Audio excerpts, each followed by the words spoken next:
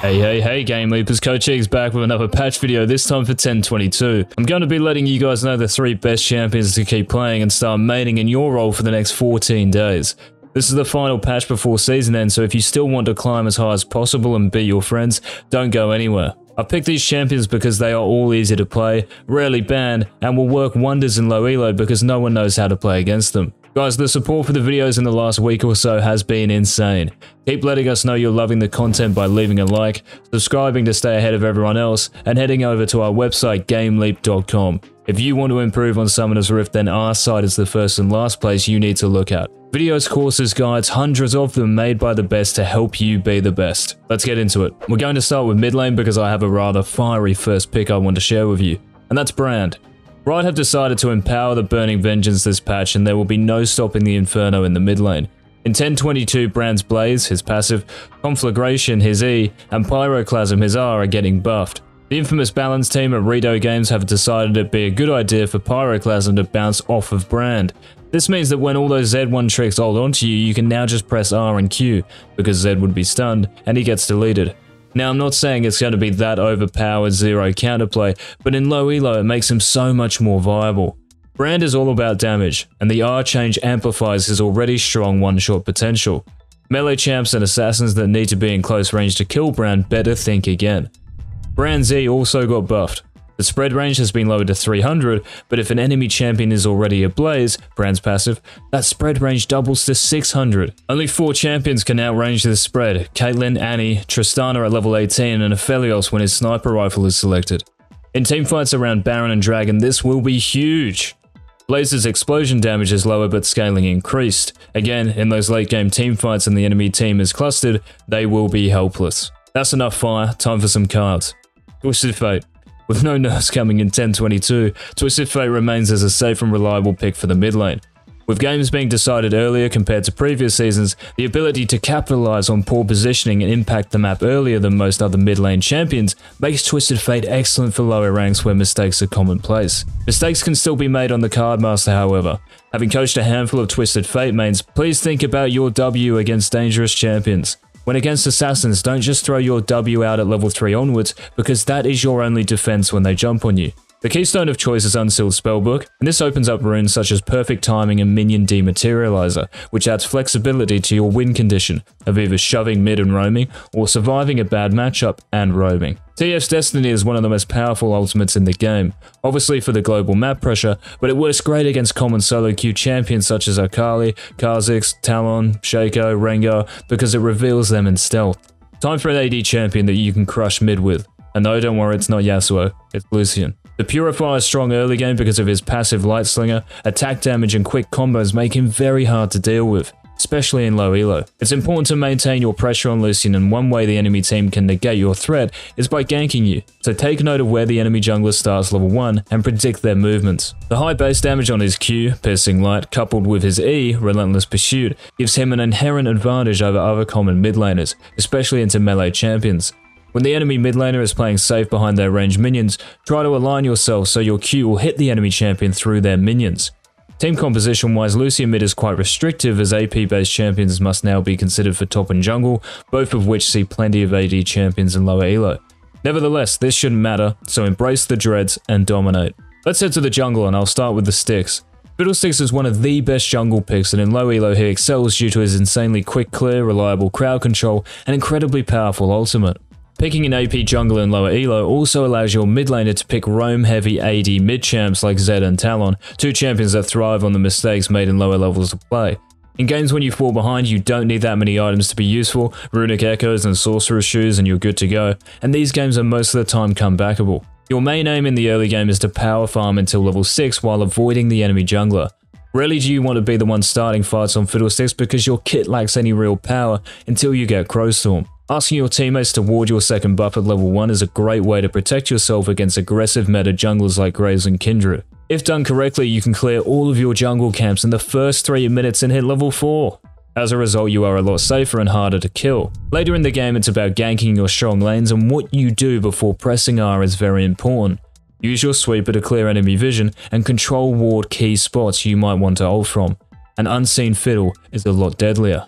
Next up, we have Bugsplat, also known as Kha'Zix. I've changed up my pronunciation because some of you low-key flamed me for saying Kha'Zix. The things I do for the subscribers of this channel, seriously. Damage, mobility, stealth. What more do you want from a jungle assassin?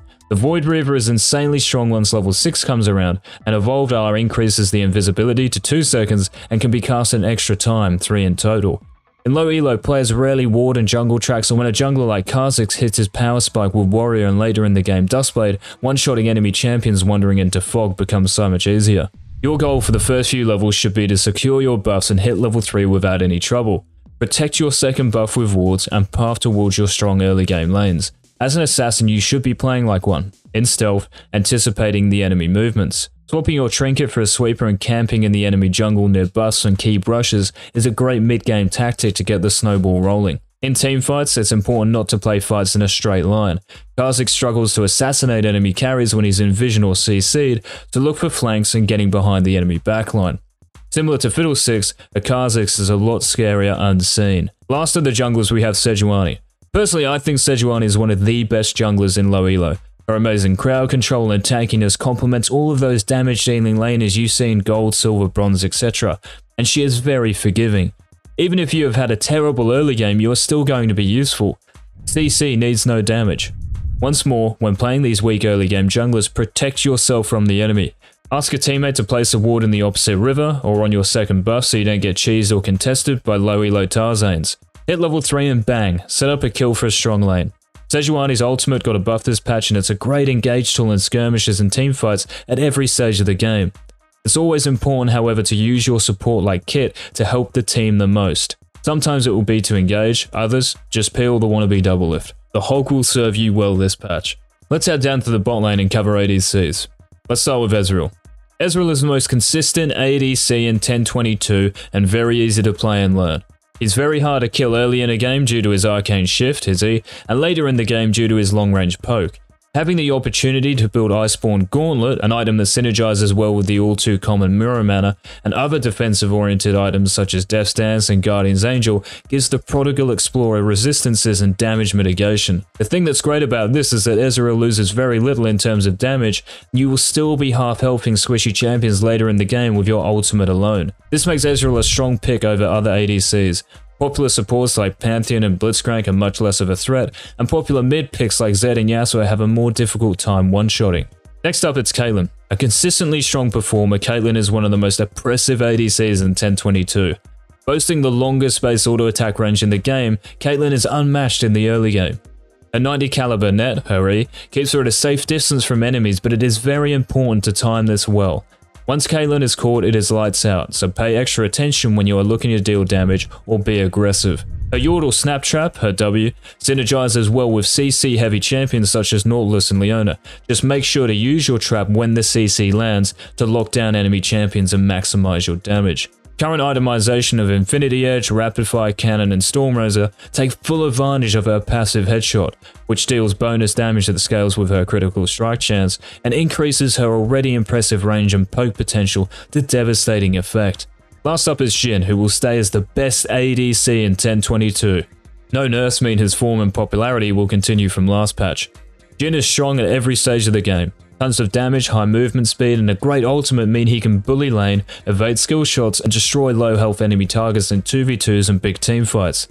He is somewhat limited by his 4-shot mechanic and gets beaten by slippery AD carries like Vayne and Kai'Sa, so make sure to count your shots and never leave yourself vulnerable to getting engaged on when reloading. Jhin excels in skirmishes and teamfights and can help lock down enemies with his W root, Deadly Flourish, and set up slows for his teammates to gap close by using his R. The current itemization is similar in concept to Caitlyn, Infinity Edge, Rapid Fire Cannon, Stormrazor, and allows for a devastating 4 shot at significant range, and the Stormrazor passive slow synergizes well with his W and R. Because it's unfavorable to build defensively on the Virtuoso, you can get one shot, so awareness and staying at range are key. We're now off to the island that is top lane. First up is the Mace Abuser, Mordekaiser. Ever since his rework, Mordekaiser has been one of the best picks for top lane, and this hasn't changed for 1022. Easy to play and hard to play against, Mord is a great pick into common low elo top laners like Malphite and excels against most melee champions. The Iron Revenant is weaker during the first few levels, so focus on farming and do not give away free kills. hit that mid and late game. Mordekaiser's ultimate, Realm of Death, is what makes him broken. When you take an enemy champion into the Death Realm, you gain 10% of their attack damage, ability power, total attack speed, maximum health, armor, and magic resist. If you kill the enemy champion while in Death Realm, you keep these stats until they respawn. How cooked is that? You don't just win because you press R though. During lane, try time your ultimate when the enemy laner uses their key abilities, and in teamfights target the enemy tank to prevent them from engaging, or the enemy carries if they decide to headbutt you, which they undoubtedly will. Let's give you guys a bit of beef in the top lane with Shen. Shen is one of the best solo queue champions, not because he can stomp his lane, but the whole map with his global ultimate. But why is Shen such a strong laner? Well, Shen's abilities are ideal for early game trading. His passive, Ki Burst, grants him a shield. His Q, Twilight Assault, grants him bonus magic damage and range on his next three auto attacks. On top of that, if the enemy is slowed by Shen's Q, he gains extra bonus magic damage and 50% attack speed on the subsequent basic attacks. His W blocks all basic attacks for nearly 2 seconds, and his Taunt, his E, is a great engage tool for himself and teammates and can be used to escape enemy ganks. Running Grasp of the Undying means it's almost impossible to trade with Shen early in the game, and lots of players in low elo have no idea how to play against Shen's kit. Shen is known for his ultimate, Stand United, which shields an allied champion and teleports Shen to that location after channeling for 3 seconds. Remember to remind your teammates when you hit level 6, you want to use your ultimate as much as possible. Last of the top laners we have Jax. Jax is similar to Mordekaiser, easy to play and hard to play against. In the early game it is still possible to trade as Jax but our focus is on farming up until that mid and late game. Use your leap strike, your Q, wisely during laning phase. If an enemy jungler is nearby and you decide to jump onto the enemy top laner, chances are you are going to hit the deck. Once you hit level 6 and skill your ultimate, Grandmaster's Might, try to combine your third auto attack with Empower, your W. Auto attack two minions for example, and then jump onto the enemy to deal an absurd amount of damage. After laning phase you want to start split pushing. Jax is still be useful in teamfights of course, but creating pressure in a side lane is where Jax excels. His passive Relentless Assault, W, and low cooldowns later on shred through turrets and you can end games very quickly if no one on the enemy team sends someone to deal with you. Last but definitely not least, the supports. Start playing Pantheon. This champion has been broken in low elo for ages. Zero counterplay to a point and click stun, for players in low elo anyway, and you automatically half health AD carries after level 2. A great tip before jumping on an enemy champion is to accumulate 5 stacks on your passive, Mortal Will, because your W is enhanced. Try to auto attack the minion wave 5 times without taking too much harass, and in you go, kills will follow. Pantheon is also great at turret diving, his E, Aegis Assault, cannot be interrupted by crowd control and makes him invulnerable to damage dealt by enemies in the target direction. So, when you see a lonely enemy under that bot tower at level 3 and after, W onto them and throw your Q, Comet Spear, get in as many free auto attacks as you can and E away while facing the tower. Once you hit level 6, use your ultimate, Grand Starfall, to impact the rest of the map if bot lane is already over. Cast your ultimate shortly after recalling so you're not spotted by enemy vision, and you almost become a second jungler. The next support is one of my favourites, Braum. He's a strong laner, excellent team fighter, and is one of the best peelers in the game. In lane, use your Q, Winter's Bite as much as possible on the enemy AD carry and support. Try to create angles by using the brushes. Once you have your E, Unbreakable, you can use it in many situations, not just to protect your ADC when they've had enough. Stand in front of your cannon minions before the enemy ADC is about to last hit and E. This causes them to miss out on very important gold because your E blocks their auto attacks. If a big minion wave is under your tower, E in front of your tower to block the auto attacks from the caster minions. Remember Unbreakable completely negates the first instance of damage. After that, it negates 40%, so use the 10% bonus movement speed your E gives you to play out the cooldown. Your ultimate Glacial Fissure is a great engage tool and disengage tool and makes it easy to land your Q and auto attacks to proc your passive concussive blows. Stunning enemies with your passive is why Braum is great at both offense and defense. In the early laning phase, look for opportunities to flash onto the enemy bot lane, auto attack, and then Q. Very hard to stay alive for any champion. Last on the list is Leona. Reason I've decided to choose three heavy engaged supports is because that's what's strong at the moment and because they are very easy to play and simple to understand. Leona is incredibly powerful during the laning phase. Her Q, Shield of Daybreak, is a 1 second stun on a 5 second cooldown. Her E, Zenith Blade, is a gap closer and roots for half a second, and her ultimate solar flare slows or stuns for one and a half seconds depending on whether the enemy was hit in the epicenter or not. Controlling the brushes in bot lane and playing in fog makes Leona such a formidable support in low elo. Enemy AD carries are too focused on one thing at a time, so when they auto attack a CS, be ready to engage. One of the most efficient ways of engaging at any stage of the game is to flash Q while pressing W, R if you have it, and E as soon as the Q or R stun ends. This can lock down an enemy champion for up to 3 seconds if executed. Imagine the combo with a Miss Fortune ultimate for example. That's it for the video guys, I hope I gave you some ideas for who to play for the next two weeks and obviously good luck in your games. Again, we really appreciate the recent support, so please don't stop liking our videos, subscribe so you don't miss a beat, and check out our website GameLeap.com, one of the market leaders in providing you with the best League of Legends videos, courses, and guides to help you climb the ranks. This has been Coach Eags. Until next time, peace.